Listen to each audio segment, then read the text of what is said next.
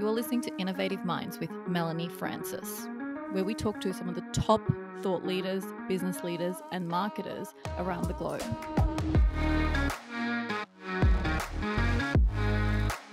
Tune in every Thursday and spark your mind. And now, let's get into it. Welcome back to Innovative Minds. I have Håvard Lillebo here with me, who is a serial entrepreneur. He has raised over $140 million in startup funding. He's involved in some really, really cool startups from deep tech, AI, nanotech. We'll go into his startups. Super cool, super interesting. He's had two exits. And the most interesting thing about Håvard that I really wanted to get into is he's like a hyper LinkedIn fan, and that's how we came across each other. But he's also raised six million euro from LinkedIn itself. And I was curious to really get inside of his mind as to why he's so invested into the platform. How has he been able to make the platform so successful? What is his mindset? What does it actually take? And, you know, how he's actually evolving his content game to make sure that LinkedIn continues to work for him. So, welcome, Håvard. Thank you, Mel. well, Håvard, let's get right into it. I mean, what, where did it? Where did this LinkedIn fascination actually start with you? You know, so is it after you've had an exit, you're sitting there going, "Oh wow, I'm just going to sit here and start raising some money"? Like, you know, how does someone get so fascinated with LinkedIn and going, "Oh, let me raise money here"? What was the journey? So the I, I was actually uh, using LinkedIn since 2004, which is very, very, very early. But it was, of course, a very different platform at that time. But I kind of built my network sort of uh, step by step uh, for, I guess, 15 years, uh, which were sort of yeah personal network. Uh, then I got challenged by a, uh, a lady that said, "You you are involved in so much crazy cool stuff." Why don't you start to post and sort of show the stuff you're thinking about, the stuff you're engaged with? Uh, because I want to know, I want to learn. and and I was like, okay, who who wants to know about this? Come on. so I, I, kind of picked up uh, on LinkedIn and I started to to post some of the stuff that I thought was interesting. And it, this was like, for me, it was like, okay, uh, actually interesting because I started to pick up some very cool conversations with people in my network. And I especially remember one guy that uh, was uh, very fascinated of uh, what I was doing, and uh, so he he asked me to to jump on a call. And uh, this was uh, one investor, and I was like, "Huh, that's interesting." this was like six months before uh, sort of funding Nanize. And we talked about Nanize, we talked about uh, sort of the, the vision behind this and uh, and then I kept on sort of posting, yeah, about every week uh, something uh, something cool, and that made like a an sort of an impression. I, I was sort of continuously there. I was sort of active and posting interesting stuff, and that kind of built my personal reputation or personal sort of. Or he he got to understand who I was without sort of having another meeting and when we got to the funding round of uh, of Nanize, it was super quick. Like in three weeks, we put about a million euro together, uh, which is like fantastic uh, short short time. Usually, exactly. it takes twelve months to do these funding rounds, and all of a sudden, you could do this in like three weeks. I was like, wow, that's really really powerful. How you can use LinkedIn to sort of build your brand, build, share insights. And LinkedIn is telling kind of your story without you being there. And so it really dawned on me sort of this power that LinkedIn has for working as a founder, uh, working with investors. Yeah, it's super interesting because you're talking about this conversion cycle and how you've been able to shorten that. And that's really powerful. I mean, I find that a lot through building my personal brand. By the time I have a conversation with someone, they've already know that I'm pretty much 90% sold. It's a one close, it's a one call close deal kind of thing because they've kind of hmm. seen you, they've heard you on your podcast, similar to us. Like we've got, they've kind of got this confidence about you. They don't need a lot. So it's mm. just shorter. And I've talked to my competitors, and they're like, "What do you mean one call close? I mean, you're not selling a two hundred dollars item. You know, you're selling a pretty reasonable, decent item on the market. And I think because they don't have that personal brand, brand or trust, sometimes you have to build that over multiple calls and touch points, and people still like afraid to sign up for a very long time or give a substantial amount of cash to you. So I think in the same way, it sounds like with you, with funding, you were kind of actually nurturing the funding purpose um, without even realizing you were doing it. It seems initially. Yeah, in the start, yeah, in the start, absolutely. And then, then this power really sort of dawned on me, and I was like, wow, I, I need to understand this better. I need to look into sort of all the how, how LinkedIn actually works and I, I really sort of upped my game uh, on LinkedIn to to yeah to test out really, and it absolutely worked. Kind of, I saw this in in uh, company after company that uh, wow, this is actually playing out really effectively. And maybe people think that it's kind of crazy to do to be so active on LinkedIn. You're a founder. Come on, you're supposed to work, right? Yeah, yeah. yeah. and it, it is an investment to to do this, but I think it plays out very nicely because every founder knows that funding a company is actually super hard work. I used to say that uh, if you're world class, you can do this in six months. And and so, some founders think that well, this is maybe a two three months thing. I was like, then you're super lucky. Like my experience is typically twelve months. Yeah. Uh, so I'm, I, I, was like, I'm not even world class. Come on. yes. Yes. But then, Wait. then I actually saw that sort of with LinkedIn, I could actually improve the speed of the funding uh, rounds actually quite significantly. Yeah, got it. When you say I upped my game, you know, after I realized in Nanize that I was able to have a really super short conversion cycle of three weeks when it typically would take 12 months. What do hmm. you mean by that? Like, how did you actually up your game from that point on? Yeah, so there were two uh, sort of concrete steps. The first one was that I, I got super curious about how does actually LinkedIn work? I wasn't understanding sort of uh, really anything before this. It was more uh, sort of I was posting, I was getting like an average uh, 1,800 views on my post, which is really nothing. Mm-hmm. But I didn't understand sort of how this actually works. So I, I kind of had to read up on stuff and uh, understand the algorithm, understand sort of the comments and the value of the comments. That was like one of my big epiphanies. That sort of uh, comments it was really a key key thing for driving uh, views on uh, on LinkedIn. And so I, I, that was like the first uh, thing. So I, I, already had this sort of this about the weekly posting one to two, maybe three times per week. Yeah. Um, trying to sort of produce, yeah, well, uh, insights and, and uh, share comments, and not just for for views, but sort of share who I am. Uh, what am I sort of in, enthusiastic about? What what triggers my interest? You actually see a like a small little community sort of growing up around that because people interact they they share ideas with you and uh, you, you actually start to get a lot back also when you do this mm.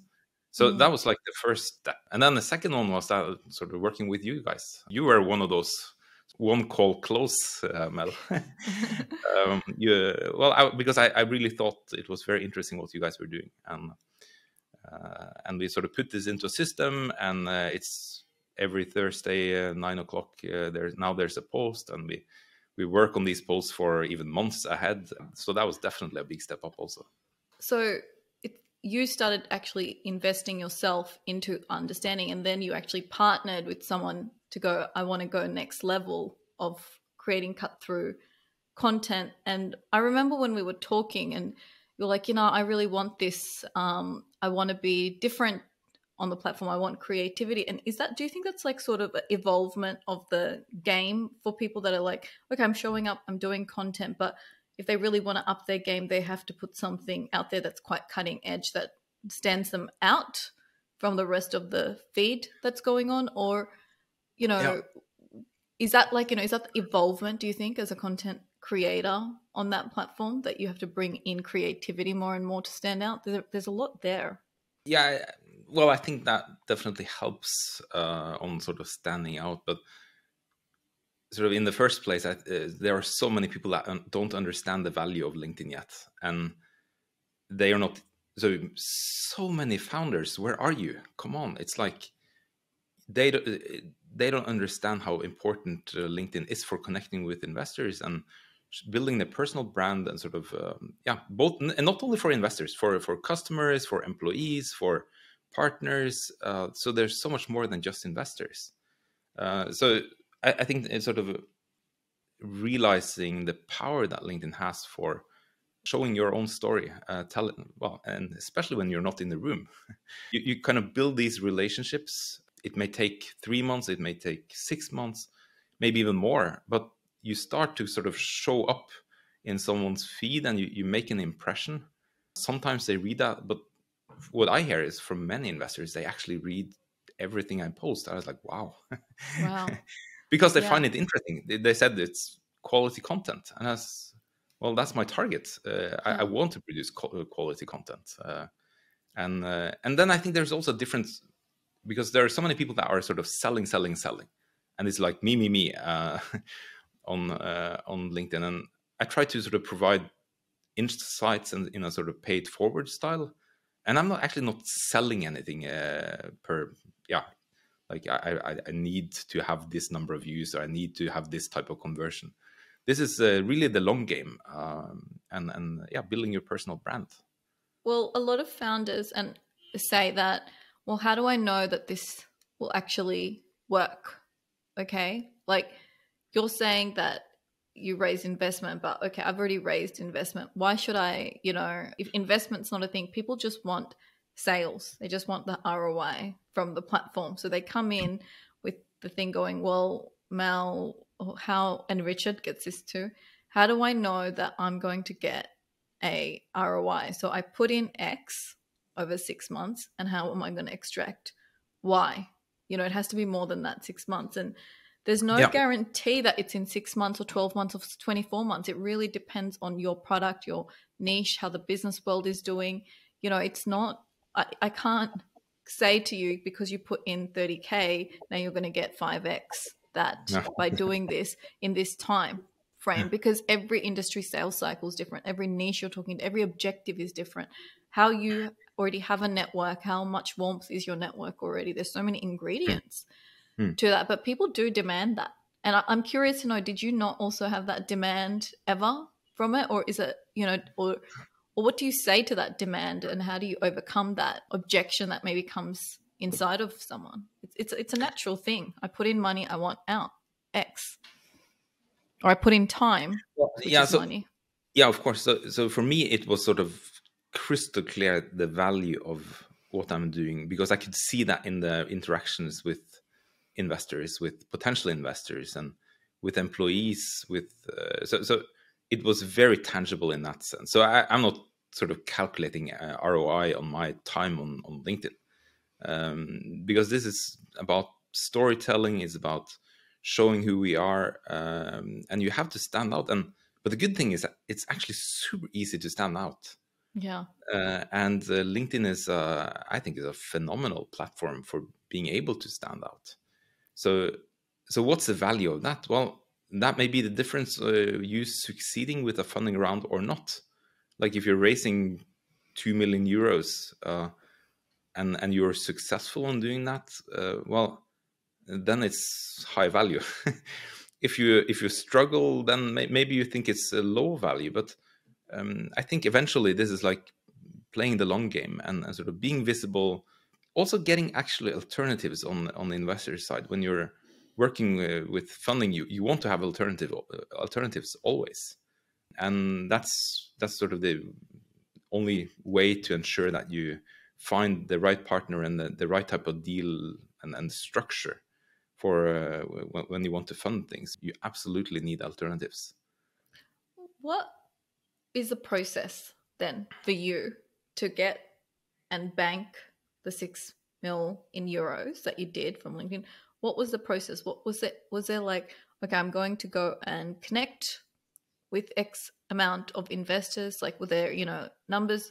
Was it just content you were playing and hoping that, you know, the investors would see it? What was sort of, you know, the process in how you were able to go and do that? Or was it just you're kind of like, you know, playing the content game and hoping that someone's going to come and see you?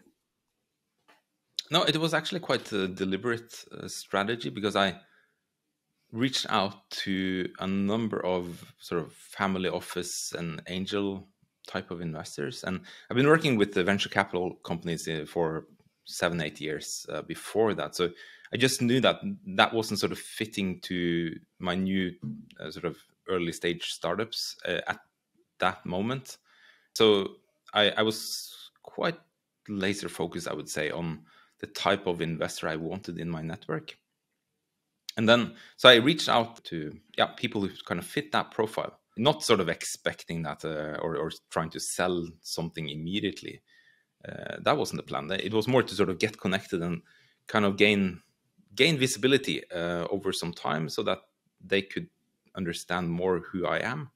Based on that, eventually maybe do something together. And so this this absolutely worked out. Uh, mm. And so you don't need like five thousand or ten thousand people in in your network. You you actually only need a uh, maybe 10, 20 uh, if you have the right ones.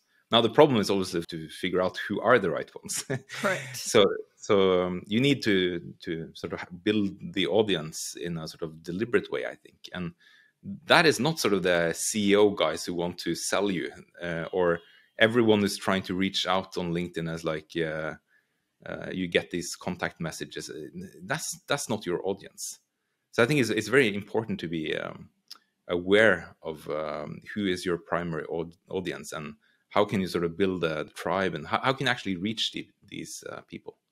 Yeah. Um, One thing you said was, I really knew who my ideal investor is you know and i i guess i'm curious to know what is your ideal investor profile there well first i would say it's someone with integrity and trust um, this is like so important uh, this is super important for me uh, but I, am also looking for this in, uh, in in the investor. Is someone I can actually work with and, and trust. And then, well, obviously, someone with the resources. This may be a sort of, yeah, 10 to 200 million euros, uh, sort of that that kind of range. Then preferably someone who has sort of been a founder before, sort of been through this journey, or and that sort of have a family office, sort of doing some investment, and uh, and then sort of the the personal connection uh, is very important to kind of bring sort of a LinkedIn initial relationship to to to talk to some of these people, um, and and then sort of what is quite key is also someone who's able to make decisions relatively quickly, and so that they they trust their gut, they you you are on the same wavelength, and and uh, you feel that uh, this is a, a good match, and you want to move relatively quick. So I'm not uh, sort of against the sort of doing DDs and like due diligence uh, and these type of things. So but I don't want like a six month uh, due diligence process. Uh, it's just way, way, way too long. Uh, and I've had a number of those before, so, so I'm sort of quite experienced also in that. but um, so, so this resourceful, um, quick decisions, and, and good people, I think, yeah. kind of sums it, sums it up. Sometimes investors like come in and they like really excited, and then they kind of pull you in, and you're kind of excited, and then nothing and it's like dead silence. And then they play again the same game and say you know i've been thinking about you you know how can i get involved da da da. Have you seen these type of investors come in? And it's like you can't really tell are these people real? Like you know that they've got you know money but the way that you're kind of sometimes interacting with them it's like they're all in in a minute and then they're all of a sudden cold or not cold but you know like kind of standing you up and you're not even the one chasing potentially, right? But they're just yeah. coming in. And I guess what's your advice on when you kind of experience people or investors like that? Is that something you steer away from, or is there a game that you play with them and also just keep them, you know, warm over there and utilize it once they're ready? Yeah, I don't actually have that many um, such people in in my my network or sort of or I, I don't have that sort of experience too too often with investors. So for me, it's typically I check in with investors sort of every now and then, sort of have a friendly chat and what's going on and these type of conversations i prefer to sort of have these type of yeah friendly things Yeah. uh, if, if i have sort of any type of red flag on an investor i'll shut down that uh, communication right away so there are absolutely not every investor i want to work with Yeah. it's not about the money it's actually much more about the relationship um, and that you can i, th- I, think uh, i even said this before this it's like a marriage you and or so sometimes worse than a marriage because uh, once you you you get into um, you get an investor into your company you you have to live with them for the length of that company uh, and especially if it's a sizable investor.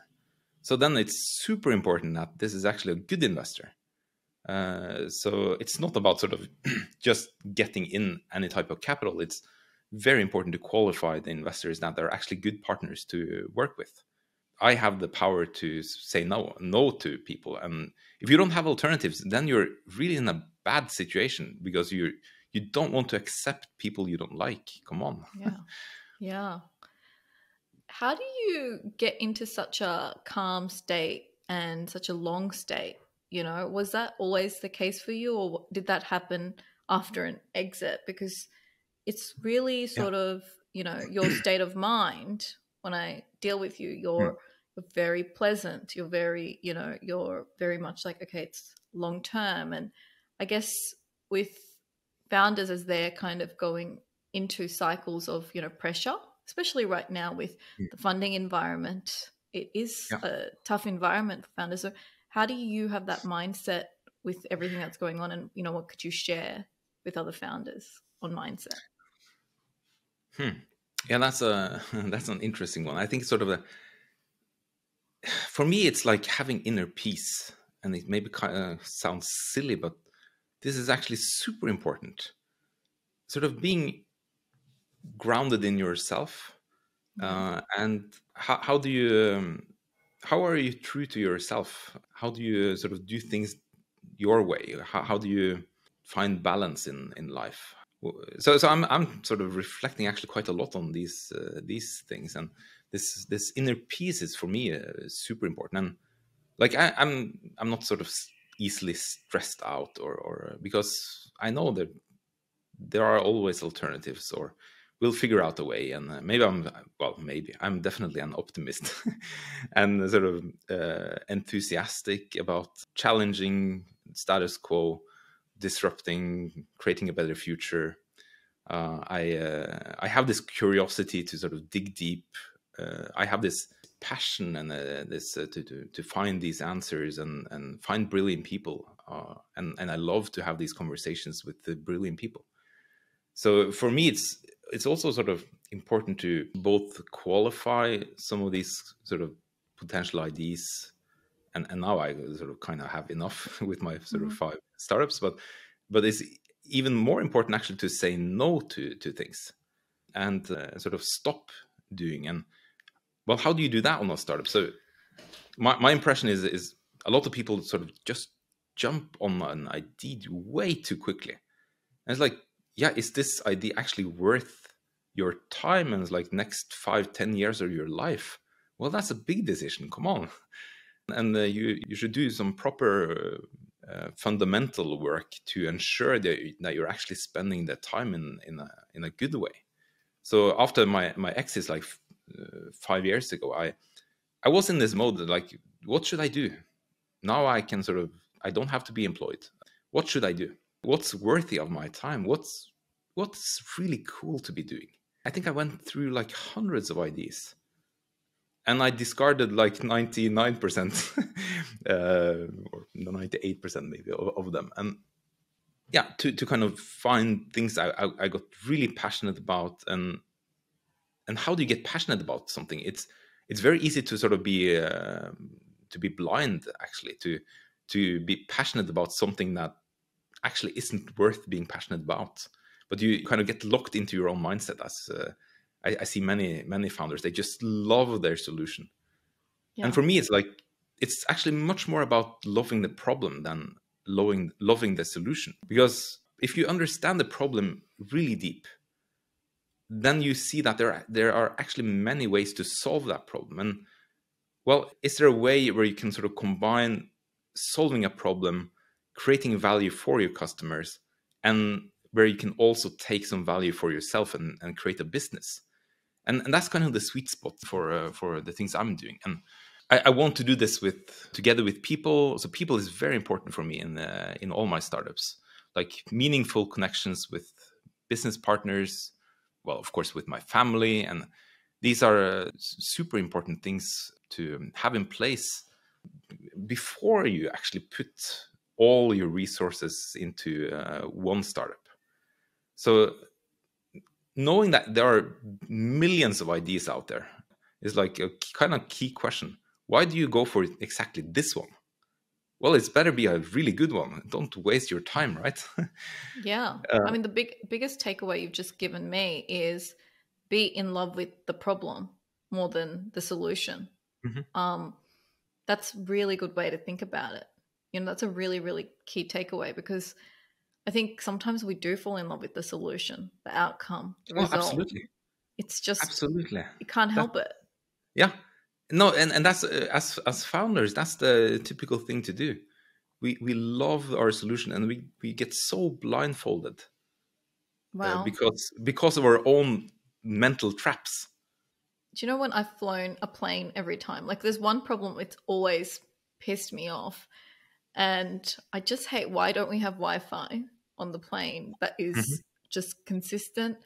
And when i'm taking big flights like why can't i you know be on there and do really you know work? Because sometimes you're like on that flight for 14 hours and you don't want to watch netflix uh, you don't want to watch what's on tv and i'm so into that problem for years and years. But because this it seems like it's such a big like i'm like why is it so hard to solve? Someone's already obviously solved it. Oh you know it's got to be someone's working on this. And then you get on the plane again i'm like what the hell? Two years of covid and they still haven't you know solved this.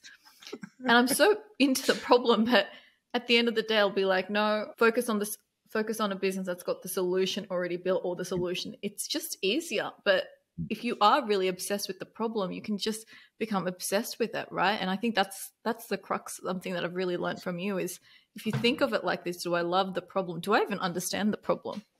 You know? Yeah. sometimes i'm and, doing business and i don't even understand the problem. No no and and absolutely. And that's that's even the, the thing for me. So when i when i start to investigate a problem i i know that i don't understand everything. Like I, and and uh, how do i sort of convince myself about is this a worthy problem? Well i talk to global experts. I talk to customers. I talk to experienced investors and that's a, a, a way to get feedback external feedback into my brain so that i can uh, make a better assessment uh, about that problem. So if I only sort of sit in a room and think for myself, I, I'll never get those new ideas or new perspectives.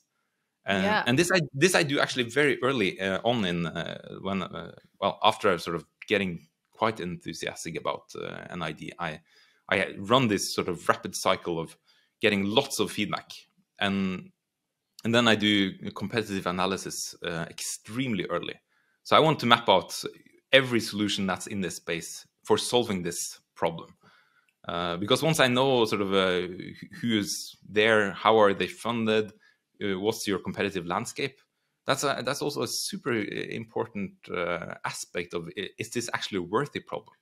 So if you have like billion dollar competitors, well, okay, you, you may still want to do it, but then you know you have to do something on the funding to to kind of yeah not lose the game because competing with a billion dollar company is actually super hard and and i guess it's super important that you actually have this knowledge when you're going in for your funding round and you're having these conversations that they actually get to know you as someone that knows the industry so going back yep. to the raise that you would do on linkedin when you get on these calls i'm curious to know like how what are you sh- are you sharing with the purpose of hey, this is how well researched I am already. This is what I've been doing. And do you keep the conversation quite focused on the startup you're focused on probably getting funding from? Are you, or are you just connecting on a human? Like, how much of it is, I guess I'm trying to understand, is strategical here that, you know, you are hopping on a call and you have got the research for a startup? Or do you kind of go with the flow, see where their interest is, talk about your multiple startups and even though you know you might not need funding for X or Z, mm. and you've got a need for three, do you kind of focus in on that? Is it strategic at all for you, or you just kind of go with the connection? No, it's it is absolutely strategic, and it sort of this is for me playing the long game. So I, I want to connect with good people, and I want to actually qualify them also when I talk to them. It, are they potentially good people to work with? So it's not so much about me actually. It's I, I want to understand who's on the other side. Is it something someone I, I want in my network and I want to to yeah to potentially work with?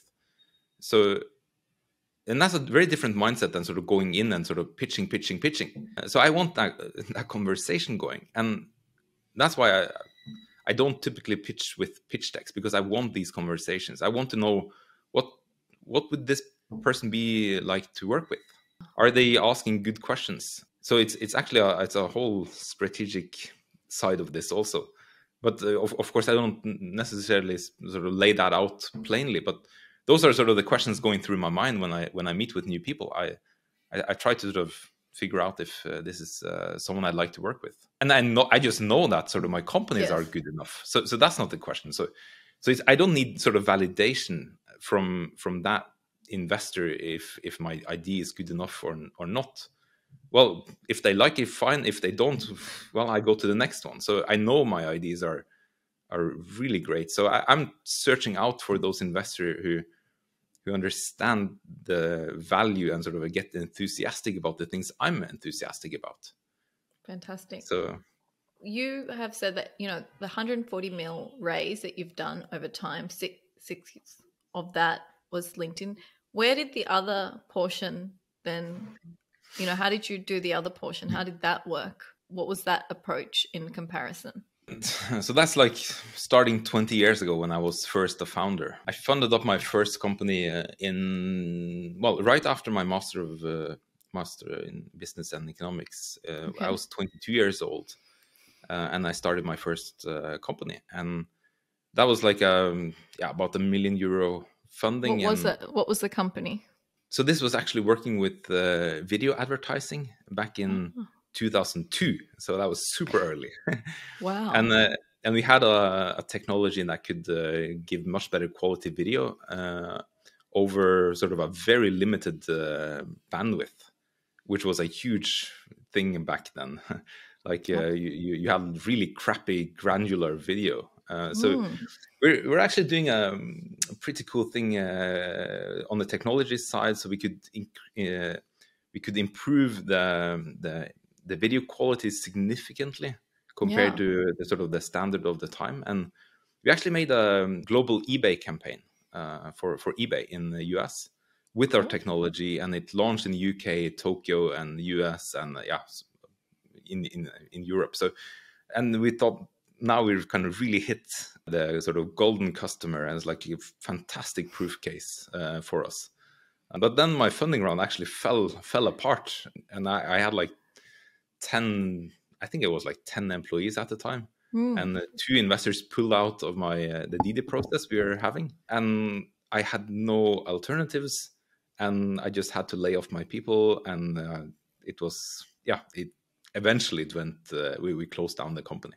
Wow. Uh, so that was actually quite a brutal learning from from early on. So after that, I went to uh, to join a stock listed company. I was CF, sort of like local CFO or sort of finance manager for 88 employees. Um, we grew that to 330, more than a, hundred million dollars in, in revenue. It was a physical production facility, and that was for solar cells, actually producing solar cells there I got this idea about how sort of beware solar cells. So it's a B class solar cells. Uh, okay. There was there was no one who, who was working with that on a sort of on a global scale. What should you do with your B class uh, production? So I went to VC uh, Northzone Ventures and uh, asked if we, um, yeah, if this was something that was worthy of uh, their time and interest. I really liked this. Uh, it was like five five percent of the total production for solar cells that ended up in this uh, class, and nobody was actually focusing or, or, trying to get any value out of this. So this was um, then I, I, also had the idea to use advanced lasers and uh, to to kind of fix part of this uh, to to kind of get a get a a cell uh, back. Um, Okay. And we What, had what this. does uh, it mean, solar cell? What does it mean, you know, working with so solar the, cell? the, the the physical solar cell, like in, in a solar panel, you have Yeah. 60 uh, solar cells. Okay. So the Yeah. actual actual six inch solar cells. Oh, So okay. we, we produced them back in 2006, oh, got it. 2007. And uh, and then we set up the so we, we I had this idea for the startup that would take it, it was 4 million euros to build the production line. So there's like no way to do a sort of step by step thing. You actually Mm. needed a lot of funding to do this. So I, I w- went to to Northzone Ventures to to uh, get the initial funding for the company and grew that from my ID to 180 employees and 35 million euro revenue. It was actually quite a success for a long time Yeah. until the solar market started to crash uh, in 2011 and uh, and it was just brutal. and uh, and basically the whole uh, European uh, space was uh, uh, s- solar players in the Eu- Europe were were put out of business because uh, Chinese were deliberately taking this industry, and uh, so we were wiped off uh, off the sheet really. Wow. um, So you didn't was get an exit in that one. You just no, no. So that, that was like 80 million euros uh, about that we raised for this uh, company. wow. Uh, It was so, your uh, that, that was after you sort of had this learning from this other company you worked as employee for. You got fascinated, and then you Yeah. saw an opportunity, and then you went and created your second Yeah. company. Yeah. so that was my second. So that was like 80 million euros, uh, I think, uh, in in total financing, and which is which is kind Huge. of crazy. And that was Yeah. in your and you were always dealing with VCs back then, and that's what you kind of distinguished that Yep. as you start getting into a different early stage, and Yeah. and maybe it changes. Maybe we'll hear some more from you that back then you could go to a VC, throw an idea, and collect that sum of money. Is that different as your journey goes on? Well, let you tell it. No, the yeah. So so VC funding is still uh, very attractive when you want to do sort of larger rounds and and sort of working with VCs. I think is it's a really good strategy because you you get really good people on board that are knowledgeable and very experienced in uh, starting up and scaling businesses. So I think uh, for it's it's a really good partner to, to bring on board uh, for for any type of founder but it's quite hard to get VC uh, on board because it's typically like six to 12 months uh, process. So for me, it was from Innotech uh, Solar, the, the company name, uh, the company I founded, uh, from from uh, when I started it until I had the first funding round in place, it was 12 months. And uh, typically, in, in, in the average funding round was 12 months. Yeah, Uh, it took a lot of time and resources to to uh, do these funding rounds. So, what was the next company after the solar company? And then I, then I worked with the solar parks. I think we raised like seven million euros to um, to acquire solar parks and uh, get them up in shape. Uh, so these were actually built solar parks with owners who didn't understand sort of the solar asset. Right. Uh, so what we did was purchase them actually cheap, get some the, our yeah good competence uh, into the game, and then sort of uh, improve performance actually radically. It's like buying a house uh, really cheap and shine, shining Right. it up. So I did that for a year, and then I was I took that company public uh, in 2016. Then I adopted my my girl from Colombia, uh, and I went over there, and life changed in a big way. Wow. And uh, and then I was uh, doing a, a data center project. In Colombia? Uh, no, no, just- in, in in Norway, in Norway. So Norway. so I was after uh, actually in the last two years of Innotech, I was uh, sort of starting to to think about uh, what kind of uh, what, what should I do if Innotech didn't last because I kind of feared that it, we had a really a really hard time in the last few years uh, at Innotech. So uh, it was like, what, what should I do afterwards? And Is one this of the the things company that you took public though? So at that point, You've, No, so you- you uh, so this this company that I took public, that was uh, what I did like right after Innotech for one, about one year, and and then uh, I adopted my girl from Colombia. And then when coming back, I was working on what could I actually do in sort of my local community, uh, sort of in in in the immediate future, uh, immediate uh, um, yeah. surrounding that could create value, so that I didn't have to travel that much because I wanted to be at home with my uh, with my family. Yeah, um, right. And and then so I there started. There was a real to... mindset shift change as soon as you've adopted yes. girl. So you're totally yeah. now thinking, how can I stay close? So there must be, as an entrepreneur, there's a huge moment for you as a man, as someone that now wants to has a family, and so this is like a big deal. So you're now thinking totally different of what you can do and stay close.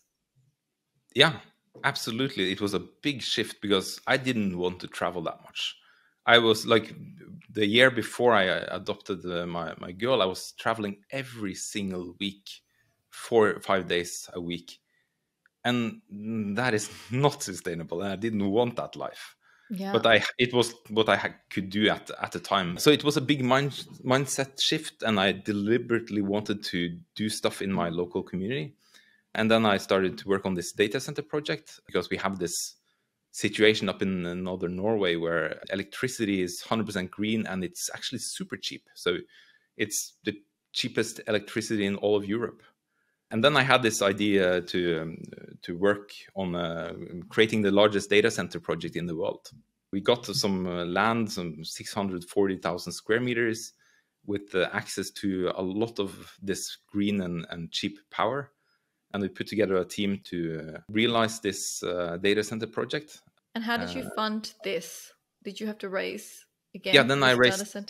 Then I raised yeah two million euros from. I had 637 investors on my list, uh, and I reached out to every one of them. How did you uh, used to reach out back then? Was that via email, call? Yeah, email and yeah. calls, and uh, the really hard way. Because uh, really there was no there was no branding going on at that time, so you weren't front of mind. You were just appearing out of nowhere and trying to yep. build trust. Yeah, yeah, and that was doing it really the hard way. And now I, I had worked with uh, in professional investors for seven, eight years, uh, and I've raised a lot of capital. So I, I kind of knew how to to do this, but still, it was it was really a lot of work then so we had this this uh, actually quite amazing project going on and we, we launched it on bbc world news uh, live we had like 800 international articles about the data center project and then two of my co-founders took control over the project and sold it. Uh, so it was kind of a backstabbing thing. Wow. and uh, and uh, but it was it turned out to be an, an exit, but not the type of exit I wanted because I wanted to actually create thousands of jobs uh, in the local community, and uh, so uh, it was first extremely brutal, uh, and sort of my my company was taken away from me, and it was sold for 10 million euros, and it turned out to be an exit that actually changed my life for the better. But it wasn't the way I wanted this. Uh, it was so many wrong things um, in this, and we had this opportunity to create something completely amazing. Now, sort of five years later, uh, this company came and purchased the same land for 20 million euros, and they have the finance and the power to do this. Uh, they understood finally what what yeah what I saw. yeah. Uh, so I I've, i kind of felt that they understood it is a fantastic project, but um, I wasn't able to sort of pull this through as I as I wanted. So this is a founder's life. It lots of ups and downs. It's sort of uh, having a really good time than having these uh, roller coaster experiences, and that's what you learn from. So I rem- remember uh, when I went to uh, to court actually with Innotech Solar, together with the VC. Um, the chairman of the board, who I, who I was the, the, main VC I was working on, he he said to me that uh, Håvard, you know, this shouldn't be so so bad for you. You you have Norway's most expensive MBA, 52 million euros it has cost us in in equity. That you, you use that for something. And that actually made a, a huge impression on, on, me. That's that's sort of, sort of the way to think about this that it's actually a very valuable learning experience. Uh, don't think that this is like a failure. It's okay we tried our best with really great people and um, okay the chinese came and took that business. We we um, the, the fundament wasn't uh, as as it was when we started. Uh, okay, we, we close it down and we move onwards. Then I kept the relationships with investors and they were full sort of integrity, no no sort of hard feelings. Uh, that's that's business. Sometimes it doesn't work out. Uh, yeah, and um, that was actually a very brutal, brutal thing uh, for uh, for me. But once I kind of got this mindset shift, is like, okay, what can I use this experience for now? What what what other stuff could I do? What what good could I do? And here and here you are with your five different companies because of all of that that you are now pushing in. So how yeah. is your current companies and where are they each at in funding? Where are they you know and how do you like dive you know cut up your time between linkedin? How much time by the way do you spend on linkedin per day? I think this will really intrigue people uh, on LinkedIn per day. It varies, but uh, it's like one to two hours. Okay, so uh, I would say uh, sometimes much more. When you when you have active posts, it can be much more.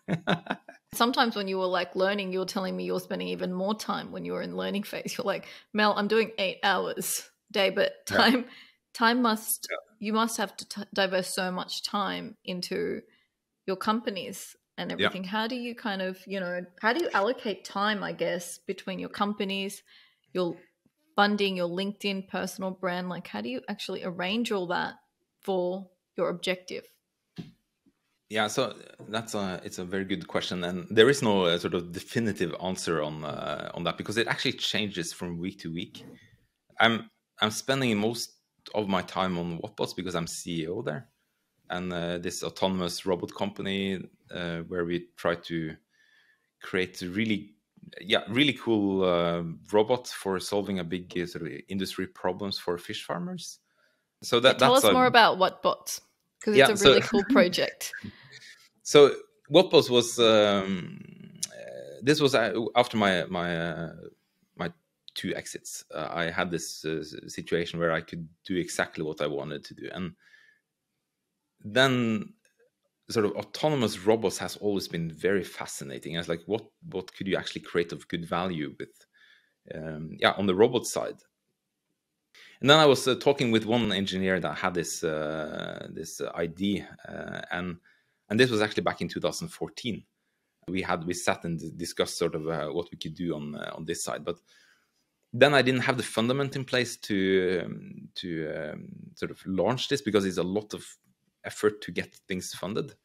But uh, sort of fast forward to uh, 2019, uh, I had my exit and I had the fundament in place and the timing was right. And we sat down and discussed like this could actually be really cool to to do because there are many elements that sort of, sort of fit together. It's like creating a lot of value for the end customer. It's a, a, a very good business that you can also capture. What was the problem that you're fascinated by? Just yeah. so the audience can yeah, hear. Yeah, the problem with the, the fish farmers uh, have is that when you have a, a net in sea, it starts to grow with algae from very early on. And uh, anything that's at sea grows with algae. And it blocks the oxygen for entering into the fish net. And it keeps the sort of used water inside the fish pen. And it uh, so it, it kind of serves as a barrier in, yeah, bacteria and uh, and um, viruses may sort of attach uh, to this. And once you you start to clean uh, this with high pressure underwater robots, then you create these algae clouds that gets into the the gills of the fish, and uh, it's uh, really bad for fish um, fish health. But this is how ninety eight percent of the industry is doing it today and uh, there must be a better way that uh, where you can sort of create an autonomous robot who who brushes the net continuously every day so that nothing attaches to the net so So it only becomes a problem if you if you let the net stay intact for like two three weeks. Then uh, then it starts to to grow a lot of algae on it. But if you if you brush it every day, and you have this robot like a vacuum cleaner at home. Uh, if you have this robot who goes around in this uh, environment and uh, brushes off uh, biofilm every day, you, you, you kind of take away this problem, and that has a huge value for uh, for fish farmers. So, and uh, we here we have this ten billion dollar fish farming industry right outside our our door here in in Norway. So uh, you have a big home ad uh, advantage instead of working like in US or in in Germany or in other places. You you you actually have an advantage being located where you are located. So that yeah, that was a lot of sort of appealing things with uh, this um, autonomous robot and. And then you, you need actually artificial intelligence and, and machine learning to make this robot work on its own. So it's supposed to work 100% on its own, no human interaction and that's completely possible uh, to do. So we set out to do this in in 2019. Took one yeah one year to to get it funded, um, or sort of to first to to set the fundament right, to have customer interviews, talk with investors, talk with global experts, and then uh, sort of half year to get it funded. Then we yeah then we kicked and that one. With your funding that time, what was were you sort of using your personal brand already by then when you went in no, or so, this is much so this, more later that you yeah so this happened yeah so this happened sort of uh, in 2019 so i was starting to uh, understand sort of the impact of linkedin but mm-hmm. um, and this happened sort of at the same time as um, as Nanize. Uh, we found uh, founded Nanize also in 2019. And tell us um, a little um, bit about Nanize and what the problem is that yeah. we're trying to solve in Nanize. So for for Nanize, uh, that's a sort of completely different uh, problem and industry, um, and it's my own fascination about uh, um, how can you design uh, sort of a surface uh, that nothing attaches to, uh, and because we are cleaning our cars, we're cleaning our windows. My my eyewear gets dirty. Uh, our clothes get dirty, and it's like, why is that?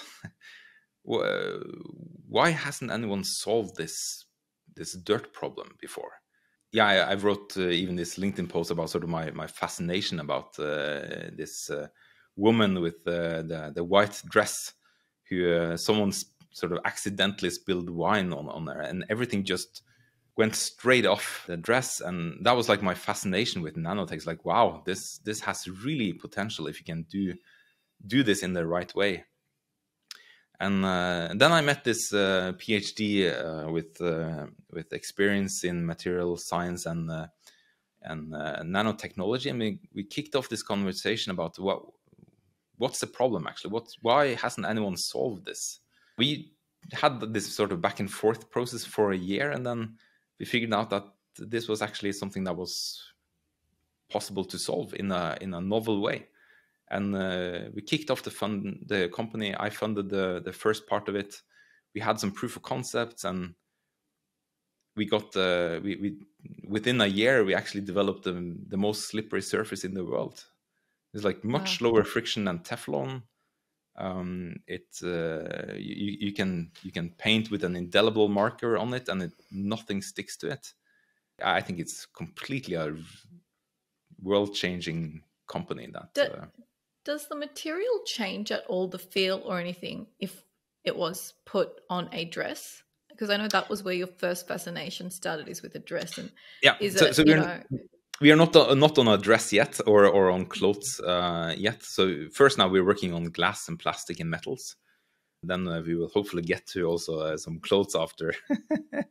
You'll focus on cars at the moment, then. Yeah. But so, so it won't change the surface so much when you're applying it to a solid surface. But I'm guessing the difficulty will be when you move into move movement in material, how to keep it the same movement. Yeah, so so it's not the the, the first product here is not uh, not for clothes uh, because no. you you wash them in the, in the washing machine it's like very flexible. So it's Got a different type of problem. So we decided to to yeah do the sort of cleaning uh, so that you don't have to clean your car or you don't Yeah. have to wash your windows uh, first. And then then there are so many applications where where you could use this coating that's part of the problem and that's part of also the what's quite exciting about this uh, company that you can use this surface for so many things like imagine you don't have to like dirt doesn't build up or, or stick to a solar panel Yeah. uh, which has enormous value I want to go back to just figuring out so the time allocation. Like you're doing Yep. all these cool projects. How do you get the time to divest time to creating content even, you know, when you've got all these companies going on? Like how do you manage that? yeah the, the content creation is usually on the on the evening times Okay. so Okay. when i have time to think and uh, no phones and, and emails uh, so but uh, how do i divide my time I, I i have weekly check-ins with all my five teams Yeah. the one hour per week where we uh, with no agenda to to sort of check in and discuss what's going on.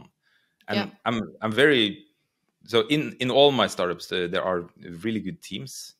Um, and there are um, uh, also also leaders who, who take on the ceo responsibility. So so i actually don't have a desire to be ceo i, I want to work with brilliant people.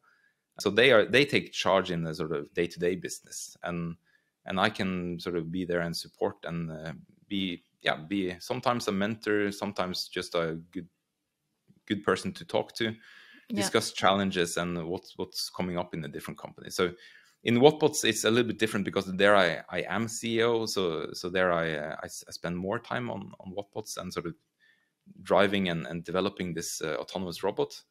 Yeah. Um, Whereas versus in uh, in Nanize, it's it's more sort of um, weekly calls and discuss and uh, and um, yeah some some strategy and sort of board meetings and these these type of things. And uh, also in the other some of the other companies, it's it's like uh, weekly check-ins and uh, and uh, yeah, being sort of an, an active partner, but not not spending like uh, days and days on on uh, on each company. So most of my time is on Watbots. when I guess you're putting content out there now regularly, like what have you found is the key ingredients for success? Yeah, for me, it's um, it's a combination of having the right audience and uh, triggering curiosity. Uh, like the opening uh, opening line and to to get people to click see more is super important. Um, Yeah, the dwell time, how long they end up Yeah.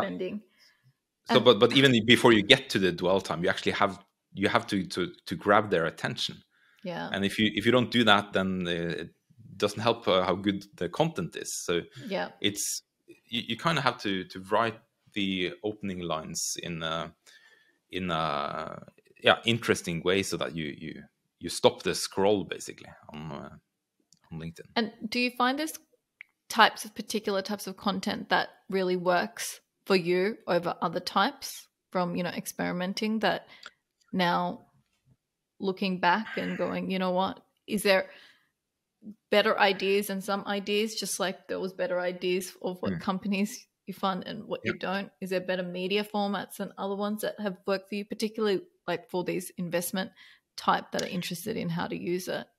Is there you know certain tips that you've Yeah. picked up going okay that's better? Yeah personally i think uh, video is actually very very effective um, because it lets people feel you who you are or feel the enthusiasm uh, in a in a completely different way than sort of reading a text um, so so i'm i'm i'm starting to like video a lot um, but also texts and sort of uh, these uh, carousels and and these uh, they, they actually work. But i think sort of it's it's important to have a balance of, of different things. It doesn't have to be just one thing.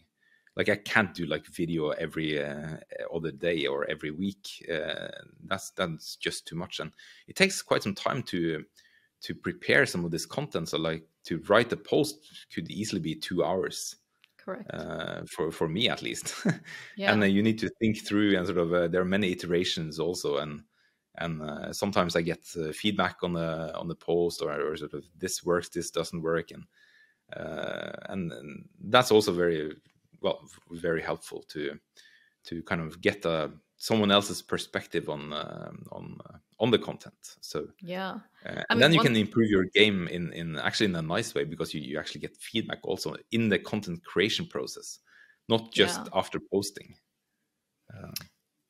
And also, one thing that you did and that stands out is you went in with that infographic style, which not many people did. And Mm. we thought, let's go in with something really unique. And I guess it was like, you know, because people did video, people did this, but there was this one format that was, I don't know, for me, it was really appealing to me and it was appealing to you at the same time. And Yep. I, I really wanted to do it because I was like really inspired. And Hmm. when we were talking, it was your you know why you invested into these really fascinating companies we've been talking about it was interesting and it was interesting and how we thought about it and it looks like they've really like we didn't know if it's going to work but it's real worked out it's worked really incredibly well for you and people are calling it posters or they're calling it Yeah. infographic they're calling it different things to thought how was that experience for you you know going to market with something i guess creative Yeah. out there different Yeah, no, that that's. I I think th- those are standout sort of pieces. Not, it's you don't see too many of them uh, on LinkedIn, and uh, and I think uh, at least it grabs my attention when I see something like that. And and uh, I thought it was actually a quite a yeah very appealing way to tell the story. It may look sort of a little crowded when you first look at it, but once you kind of start to study, it's like wow, this is actually quite interesting. And I had that response from from many people that they uh, they uh, when they when they started to look at it, it's like hmm, very interesting uh, to to kind of follow the thought process for my business framework on uh, on these uh, companies. So now we have uh, on Thursday we have the Lazera coming up, um, yeah and uh, on the business framework. So that will be interesting. yeah you've got you're sharing all your business frameworks and yeah you're really um, standing out so what's the plan for you to continue to stand out on linkedin like how are you going to continue to show up there are you going to have a consistent play what are you thinking now about you know as you're getting more learnings you're working through your link like what, what are you thinking about the landscape and what you plan to do and disrupt over there so I, I know that LinkedIn is going to be very valuable for me in the next five years. It is already very valuable, but sort of being present, being showing up every week, uh, being active uh, has a lot of value for me. And I know that this is a very good way to connect with also new people, uh, get more insights, more um, engagements from uh, from um, people across the world. Um, so now it's like 10 11,000 people or connections uh, followers on on LinkedIn which is like up almost 100% or actually more than 100% since a year ago Yeah. Um, And you've grown so really think- quickly as well recently. Like I think when we met it was 9,000 or something and like I just checked today you're up Yeah. to 11,000. So you're growing very Yeah. very fast now. very more- fast yeah and and also this part of this is also be, because of this uh, sort of founders sunday and this uh, sort of founders community that we just Yeah, uh, tell us about yeah. that.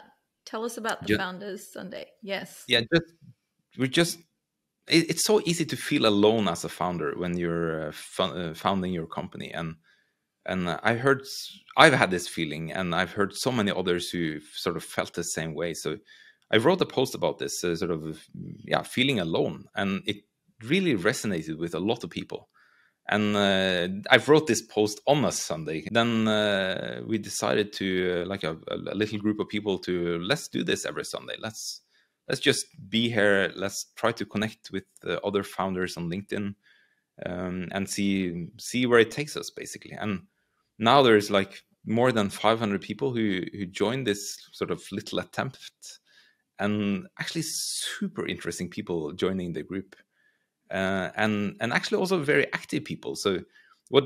Well, why Sunday? Well, many founders actually work on Sundays. That's sort of the brutal life being a founder. You you you have to put in hours even during weekends.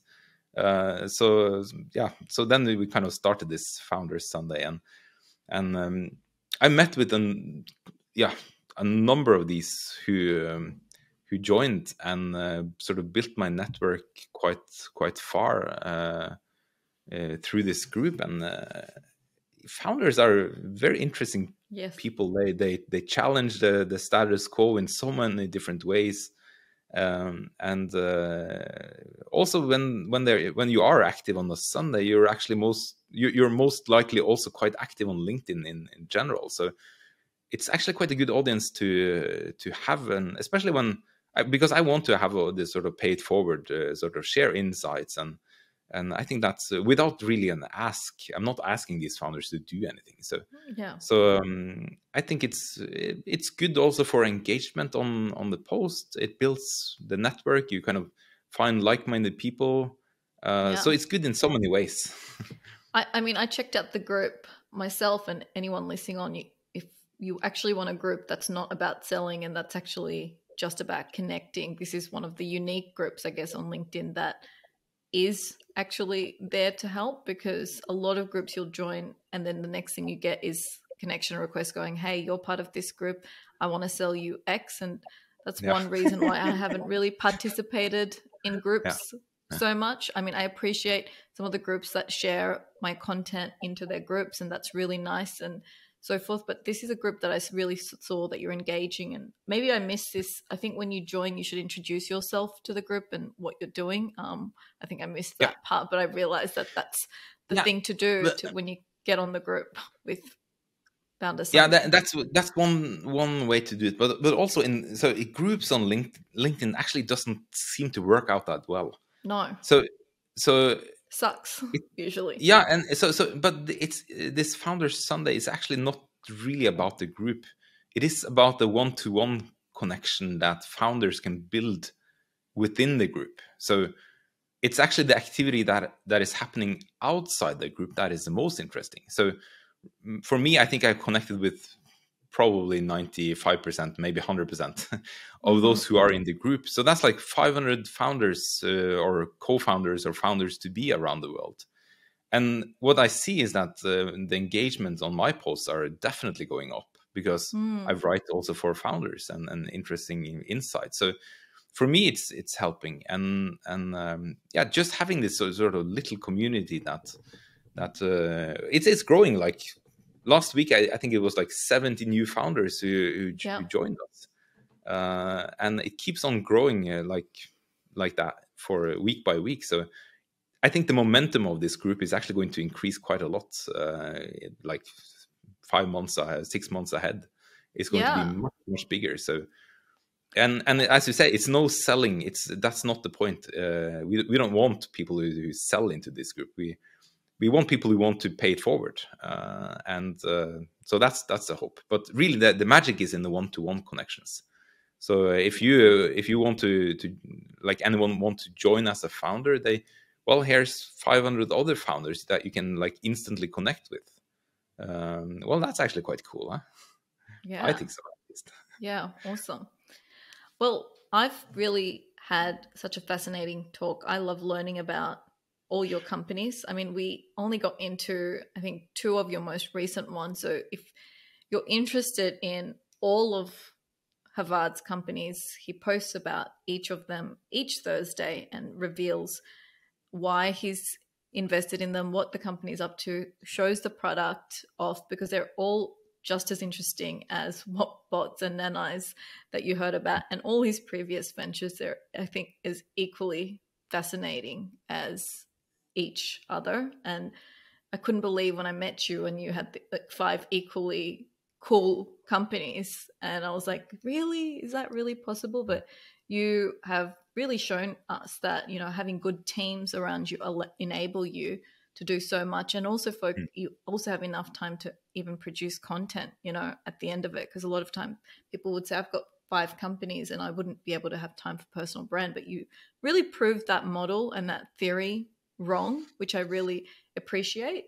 And I think it, it should inspire other founders to listen and go when they always giving the excuse, I don't have enough time. I don't know if it's going to work. You've really shown today that you've got to play the long game. This is the new funding game. This is mm. about building trust online more than ever. So you've given me a lot of confidence and you speak exactly what I think. So, you know, a lot of the time I didn't have to speak. Was there any last comments or any insights you want to share as your final thoughts as we end?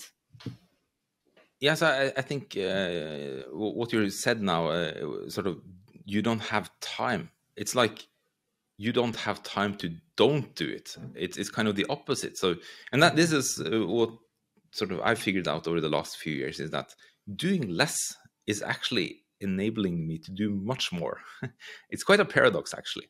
But if you want life balance and you want this sort of um, this uh, inner peace and and uh, you, you, you can't work 18 hour days and and if you do that i think you're actually working in the wrong uh, you, you you're not doing it right um, and for me it's it's not about the amount of hours i'm putting in uh, so much anymore. It's much more about quality uh, in those hours i actually put in and sort of working on the right stuff instead of just working working working. So um, and and how do you work on the right stuff? Well you challenge your mindset. You you talk to global experts. You you uh, you get all these external inputs that sharpens your your mindset and your brain. Uh, so that works for me uh, at least. So and then you get to meet a lot of super fascinating people on on on the way also absolutely absolutely and putting your thoughts out there consistently i think brings so much to you. I can see like it's brought you so much new people, so much brilliant people, talent. It's brought you investment. It's brought you connection, mm-hmm. which I can see you really value. So thank you for sharing and inspiring other founders to do what it takes really now with the investment round, with what it takes to be truly a leader, I think is so different to what it was. Um, so thank you for being authentic and open and sharing that so other people can be inspired. Again, you're Take listening to Innovative Minds. Tune in every Thursday and spark your mind.